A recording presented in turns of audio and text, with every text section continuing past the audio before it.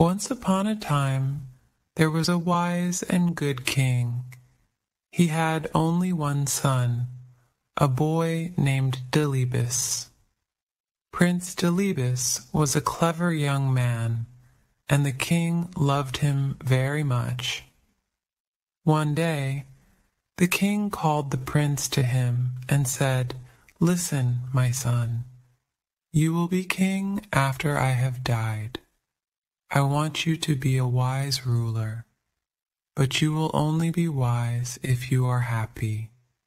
And you will only be happy if you marry a good and clever woman. So I want you to travel around my kingdom. Look for the best woman you can find and marry her. Then I am sure you will become a good ruler of our kingdom. So Delibis left his father's house, and he began to travel around the kingdom. He went to every town and every village. He met the daughters of rich men and the daughters of poor men, the daughters of nomads and the daughters of hunters. Some of them were beautiful, but they were stupid. Some were wise, but they were ugly.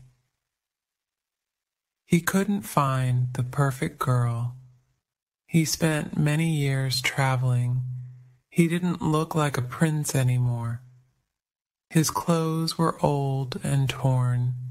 His shoes were broken. One day the tired prince lay down to rest under a tree. It was the middle of the day, and the sun was high in the sky. His food was finished, and he was very hungry. He fell asleep. When he woke up, he saw a girl. She was looking after her father's sheep. Delibis looked at her. She was the most beautiful girl he had ever seen. He wanted to speak to her, but he couldn't. What's the matter? the girl said.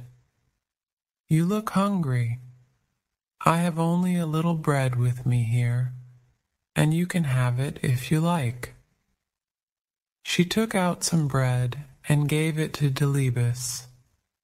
He ate it hungrily. Thank you, he said. The girl started to walk away. Delibis wanted her to stay. Have you seen my camel? he said. No, the girl said. I haven't seen a camel, but a blind one has passed this way. Really? said the prince. And this camel had no tail.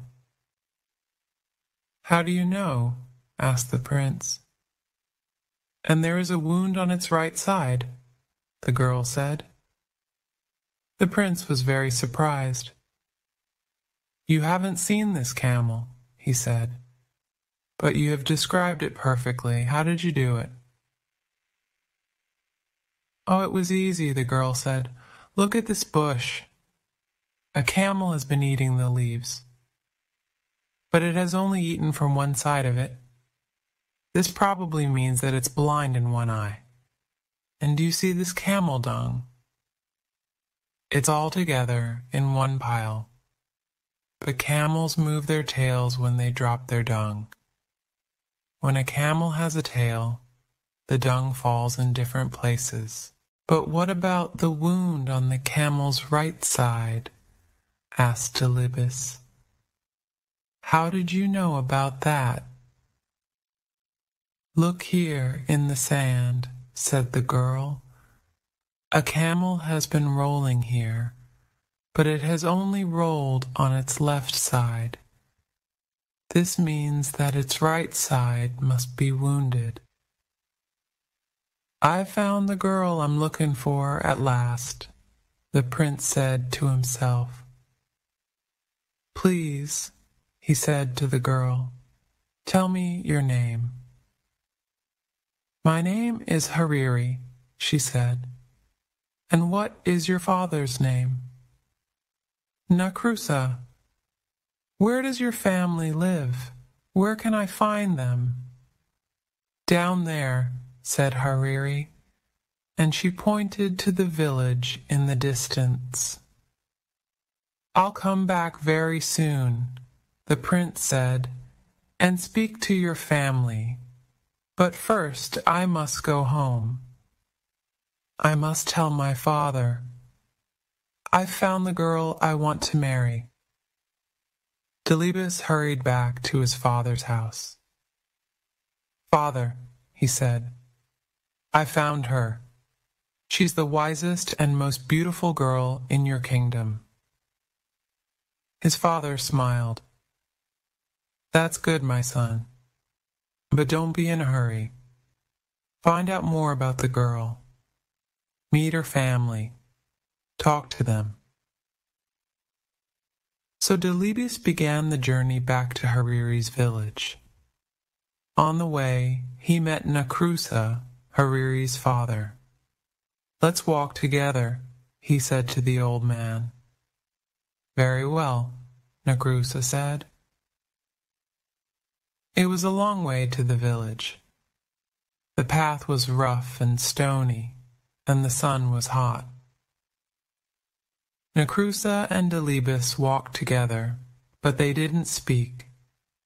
At last Delibis said, The journey is too long, and we are both tired. Let's make it easier. Why don't you carry me? Or, if you like, I will carry you. Then the time will pass more quickly. Nakrusa looked at Delibis, but he didn't say anything. What a crazy idea, he thought. What a stupid young man. They walked on and on, but they still didn't speak. After a while, they passed some young men. They were looking after a herd of a hundred cows. Old man, said the prince, who do these cows belong to?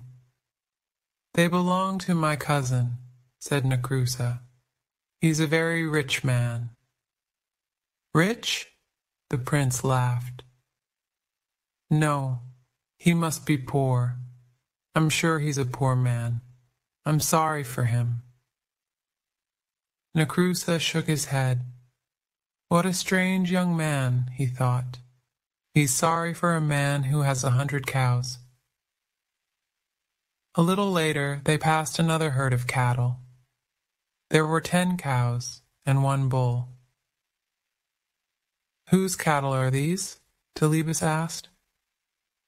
Oh, they belong to my neighbor, said Nakrusa. He's only a poor man. Poor, said the prince. I don't think so. I think he's rich. Yes, he's certainly a rich man. This young man is crazy, Nakrusa thought. They walked on and on, over the hills, until they came to a valley. There was a field of wheat in the valley. It was already yellow and ready for the harvest. Is this wheat free so that travelers can eat it? asked Delibis.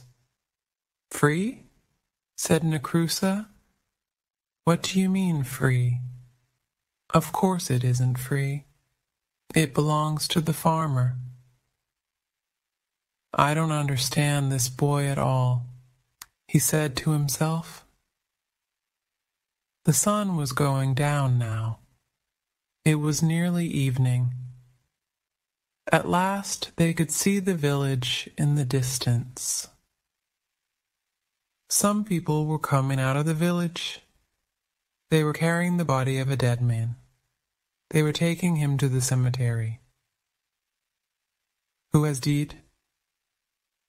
Delibis asked Nakrusa. Who was this man? He was a good old man, Nakrusa answered. I knew him well. And will his name be buried with him? asked Delibis. Or will his name live on? How stupid, Necrusa thought. The poor man is dead. Of course his name dies with him. It won't be used again. He said nothing. He walked on towards his house, and Delibis followed him. The prince and Necrusa came to Necrusa's hut. The old man turned round to Delibis. He wanted to say goodbye, but the prince had already followed him into his compound. Necrusa was tired of Delibis. He wanted him to go away. But now the young man was his guest. He had to welcome him. So he went into his hut and brought out a mat. He put it on the ground, and Delibis sat down on it. Hariri was inside the hut. She was cooking the evening meal. Listen, daughter, Necrusa said to her, we have a very strange guest.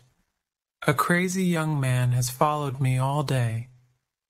He's come to the village with me, and now he's here in my compound. Take him some water so that he can wash his feet. So Hariri took some water and went out to wash Delibis's feet. He was very happy when he saw her. She smiled at him, and his heart jumped. She was even more beautiful than before. Why don't you put your feet on the mat? she asked him.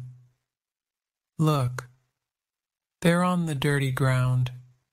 But my feet are still dirty, Delibis answered. You haven't washed them yet.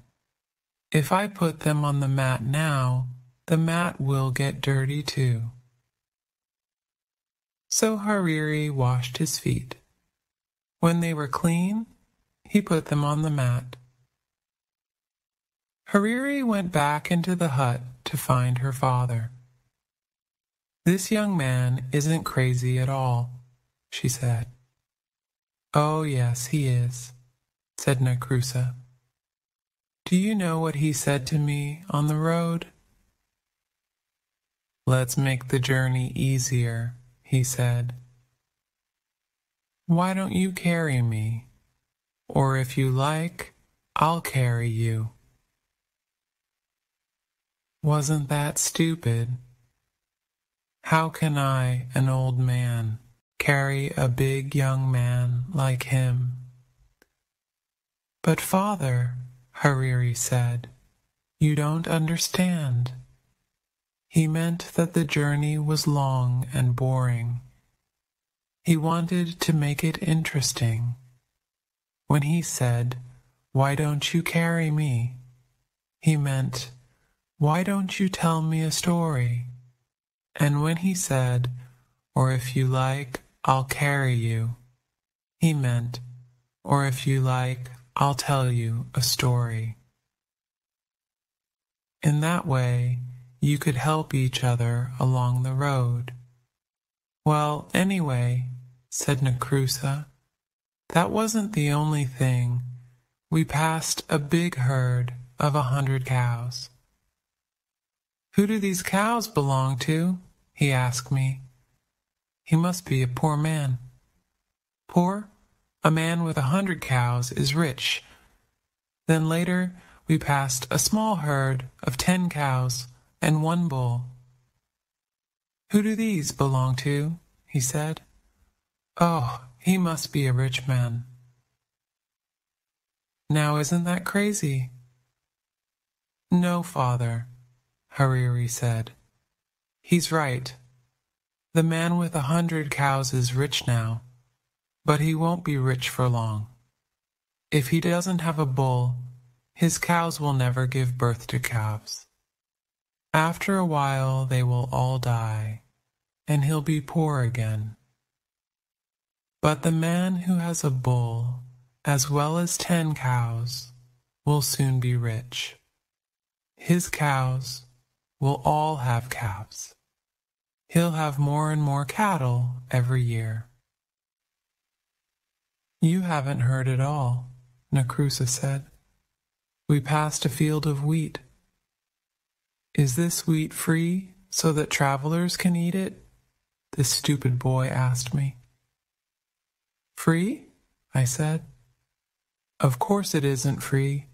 It belongs to the farmer. Only he can eat it. But father, said Hariri, who is the farmer? Is he a generous man? Does he give food to the guests and travelers who come to his hut? Yes, said Nacrusa.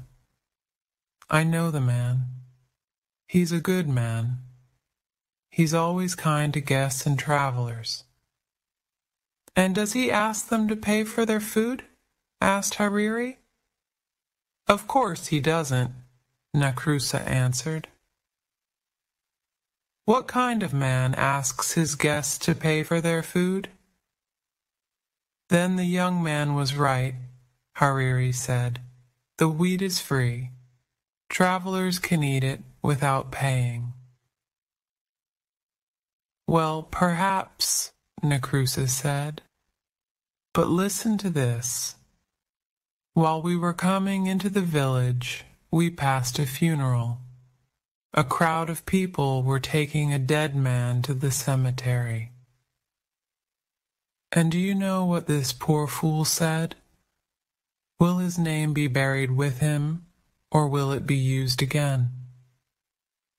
Oh, said Hariri, that's easy to understand. He was asking you if the man had a son.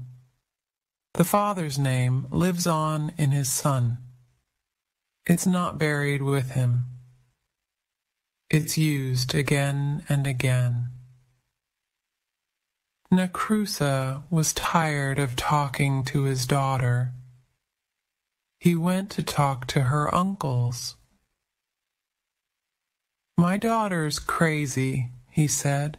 You have seen that strange young man sitting outside my hut he asks all kinds of stupid questions. But my daughter likes him. Does she? said Hariri's uncles. That's good. Your daughter isn't a child now. She must get married soon. Why don't you let her marry him? He looks like a good man to us. Oh, very well, said Nacrusa. But it's all so strange. I can't understand it at all. They're both crazy. Hariri heard her uncles and her father. She was very happy. He's so handsome, she said to herself, and so clever. He's the best young man I've ever seen. Delibis was still sitting outside the hut on the mat. He heard Hariri's words. He was very, very happy. The wedding was soon arranged. Delibis hurried back to his father, the king. Hariri is a wonderful girl, he said, the best girl in all Afar. I am very happy for you, my son, the king said. Send camels and cattle for the feast. Take some servants and all my armed men. Go to her house and marry her. Then bring her back to the palace. Oh no, father, said the prince. She doesn't know that I'm the king's son. I don't want to tell her yet. I won't take any armed men with me. When I go to her house, I'll take only one servant. She'll think I'm a poor man. If she marries me, I'll know she really loves me. The king smiled. Very well, my son, he said. Go, but come back soon. I want to meet my new daughter. It was a long way from the king's house to Nacrusa's village. The prince and his servant started their journey early in the morning. but they walked all day. The sun rose higher and higher in the sky. It became hotter and hotter. I'm very hot and very, very thirsty, Delibis said. I must have a drink. That's all right, sir, the servant said. Look, we're coming to a water hole. You'll find some water there. They came to the water hole, and Delibis looked down into it. The hole was deep. The water was a long way down. Climb down and fill my water bottle, Delibis said to his servant. Oh no, sir, I can't do that, the servant said. I don't want to fall and break my neck. So Delibis climbed into the water hole himself. He drank the cool, clean water and filled his bottle. Then he looked up at his servant. Pull me up, he shouted. But the servant laughed at him. Pull you up, he said. Why, you fool, I'm going to be the master now. He picked up a big stone and lifted it above his head. He's going to throw it down and kill me, thought Delibis.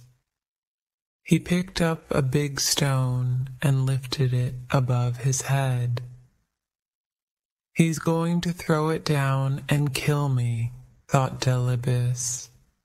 Wait a minute, he shouted. Don't kill me. You'll never escape. Someone will soon find my body. They'll tell my father, and he'll send his men to kill you. I've got a better idea. The servant put the stone down. What do you mean, a better idea? he said. We'll change our clothes, said Delibis.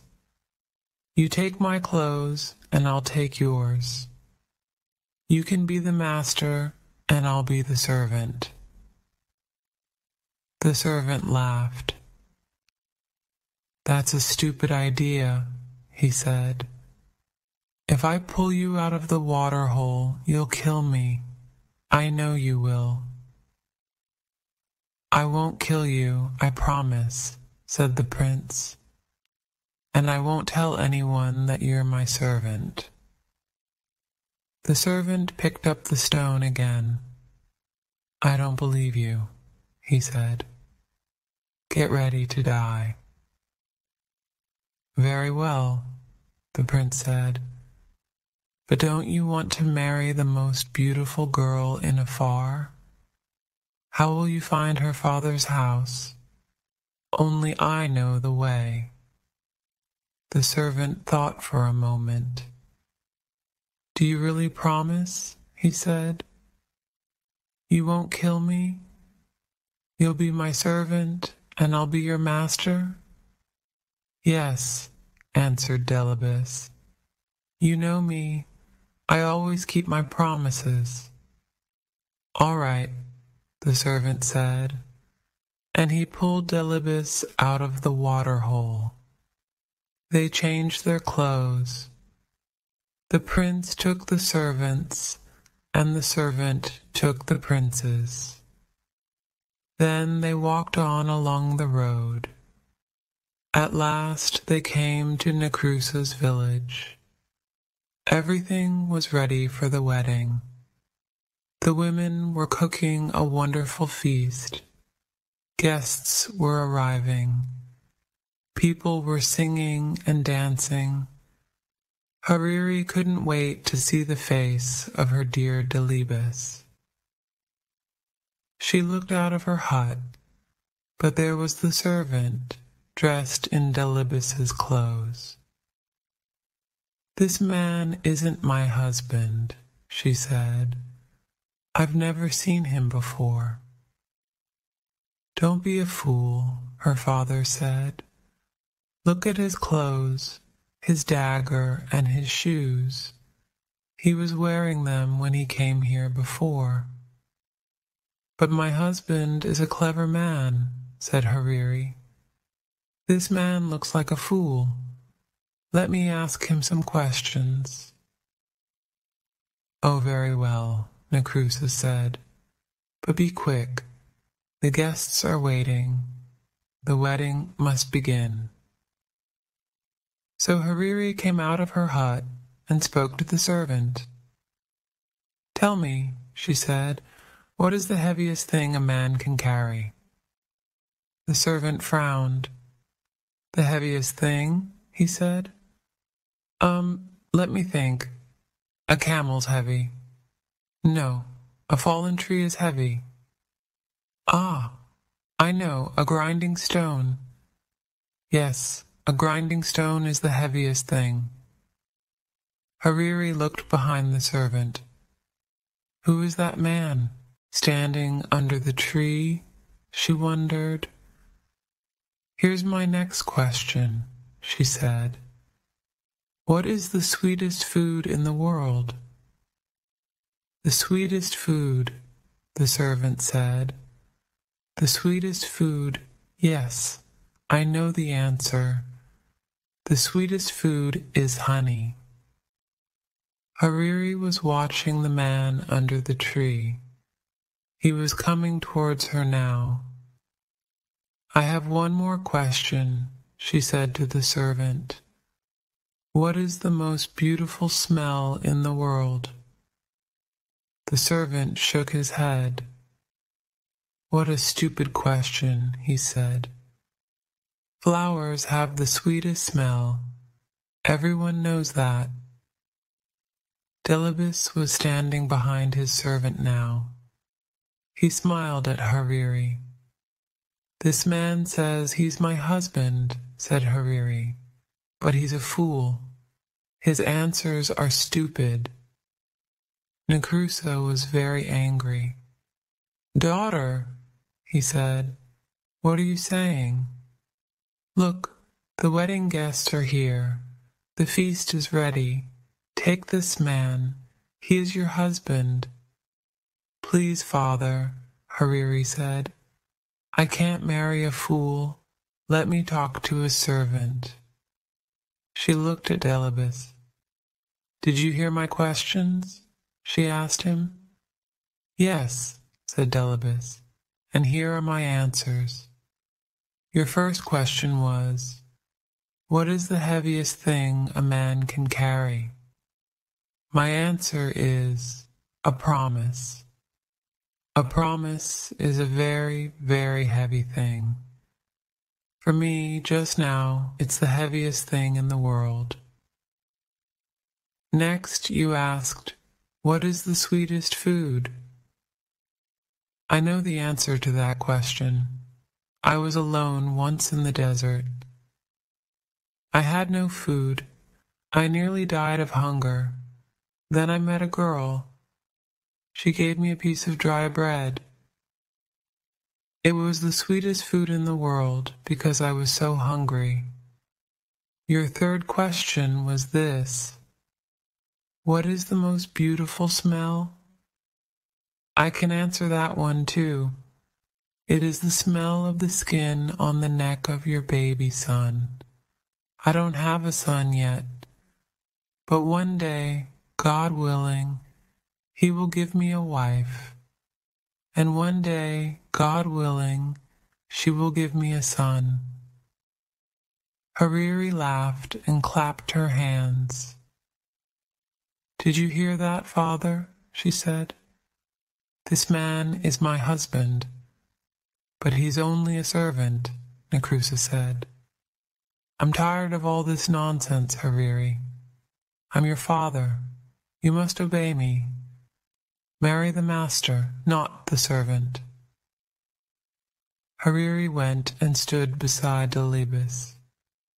Master or servant, this is the man I will marry, she said. The servant was frightened when he heard this. He fell down on his knees. Oh, please, please forgive me, he said to Delibis. I was a fool. Don't tell the king your father. The king? Your father is the king?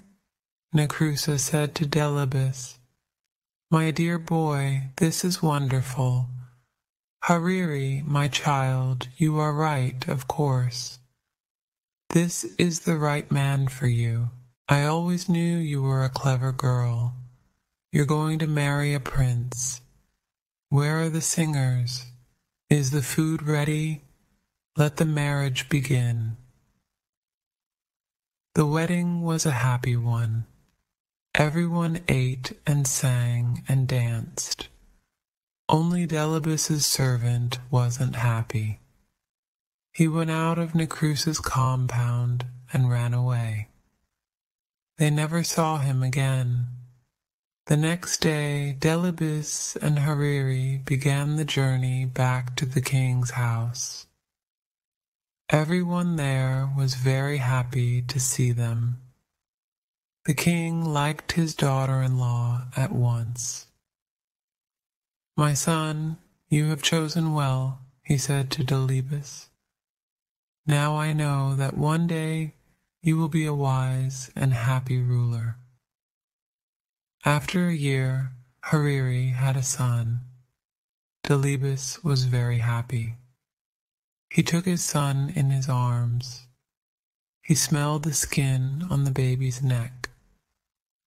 It was the sweetest smell in the world for him. Hariri smiled at him. I have given you a son, she said. Now I want you to give me a promise. Yes, of course, said Delibis. What is it? I'm always frightened when you go out at night, Hariri said. There are bad men in the town and the wadi is the most dangerous place. Please don't go to the wadi in the evening when the people and the animals have returned to the town. Promise me. I promise, said Delibis. And so Delibis and Hariri lived happily for many years. They had seven sons and seven daughters.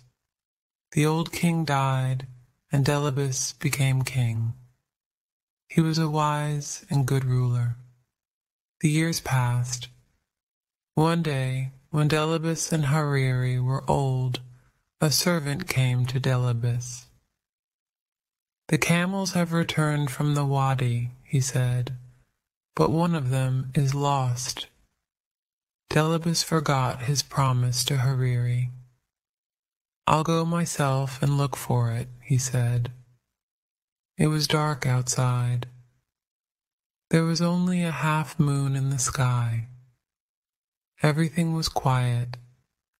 There was nobody at the wadi now. Everyone was at home in their own houses. Suddenly, four men jumped out from behind a tree. Give us your money, shouted one. Give us your clothes, shouted another. The third man came close to Delibis and looked at his face. Let him go, he said to the others. It is the king. What? The fourth man said. Yes, quick, let him go. But the first two robbers laughed. Let him go, they said. Are you crazy? He'll send his soldiers after us.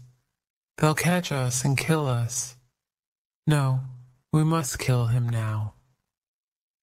They began to argue with each other. Kill him, the first two robbers said. Let him go, said the others. The first two robbers were the strongest. We must kill you, they said to the king. We want to save our own lives. Give me one last wish before I die, the king said. Very well, said the robbers. What is it? Go to my house, Delibis asked them. Tell my wife that you saw me near the wadi. Say to her, There's a black cow in my herd of cattle. Its horns are too long. It will put out the eyes of the other cows. Take it out of the herd. Is that all? asked the third robber. No, answered the king. Tell her this. There's a black mat on the roof of my house. Take it away. Put a white mat there in its place. Is there anything else? said the fourth robber. Yes, Delibis answered. I have four camels. Tell my wife to keep two of them, but tell her to let two of them go. Have you finished now? the first robber said. Yes, said Delibis. Then you must die, the first robber said. And so the robbers killed Delibis. They took his body and threw it under a tree. Come on, the first two robbers said. We must run away. No, said the third and fourth robbers. We must take the king's message to his wife. We promised. Are you crazy? The first robber said. She'll know that we killed him. Her sons will kill us. But she doesn't know that he's dead, the third robber said. Nobody knows that he's dead. So the four robbers went to Delibis's house. They asked to see the queen. She was talking with her seven sons. They were all carrying spears. The first robber walked boldly up to the queen. I have a message for you, he said, from your husband, the king. Where did you meet him? Hariri asked. At the wadi, the robber answered. The queen put her hand over her mouth. Her eyes opened wide and she looked at the robbers. Her sons moved towards her. Is my husband well? she asked. He's fine, laughed the robber. We left him under a tree. He'll be home soon. And what was his message? Hariri asked. The first robber told her the words of the king. When he finished, Hariri said to her sons, Catch these men. Why? her eldest son asked. They have only brought some messages from our father. The robbers were already running out of the compound. Quick, quick, don't let them escape, shouted Hariri. Her seven sons ran after the robbers and caught them. They brought them back to the queen. She was crying. What's the matter, mother? her eldest son asked. Didn't you understand your father's message? said Hariri. Listen, this is what it means. Take the black cow out of the herd of cattle, he said. It will put out the eyes of the other cows. This means that your father doesn't want the crows to eat his eyes. He wants us to bury his body. You mean our father's dead? Her sons asked. Yes, said Hariri. This is his second message. Take away the black mat on the roof. Put a white one there. He is dead, and he wants me to put white clothes on for him. It was these men who killed my father, shouted one of the sons, and all of them lifted their spears. Wait, said Hariri. There was one more message. Keep two of my camels, your father said, but let two of them go.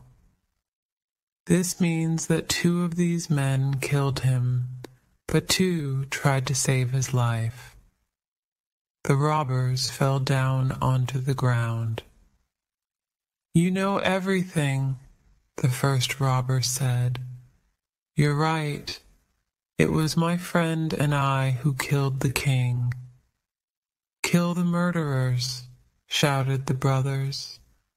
And they killed the first two robbers with their spears and daggers. Then the third and fourth robbers took Hariri and her sons to the wadi.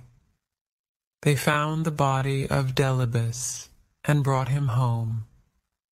Hariri put on white clothes, and her sons buried their father. He was a great king, all the people said. Why? Because he was married to a good and clever woman.